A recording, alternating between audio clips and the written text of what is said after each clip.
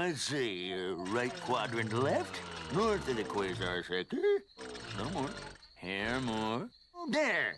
Perfectly aligned. Wait a minute.